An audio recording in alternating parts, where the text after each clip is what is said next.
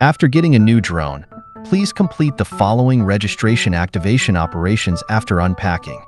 Top Gun Plant Protection Assistant Account Registration. Take out the remote control, long press the on key, wait for the power on. Start the Plant Protection Assistant app on the remote control, tap Register on the pop-up page to enter the user registration page. Enter your mobile phone number or email address. Please use the email address if you are not in Chinese mainland, and set the account password according to the prompts. It is recommended that the account number be the mobile phone number bound to the drone operator certificate.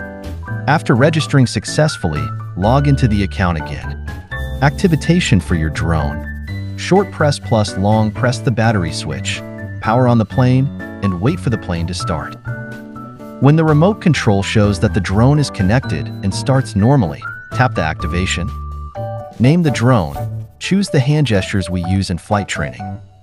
After confirming the error, tap Activation, and the drone will be activated. Battery activation.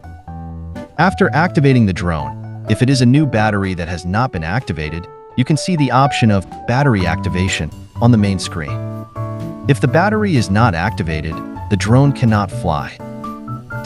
Battery Activation. Read related content.